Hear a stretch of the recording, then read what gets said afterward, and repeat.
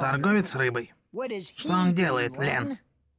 Это парень, который продает рыбу, Фрэнк. Не совсем так. Торговец рыбы — это парень, который торгует рыбой. У гитарного рифа звук будет рыбный.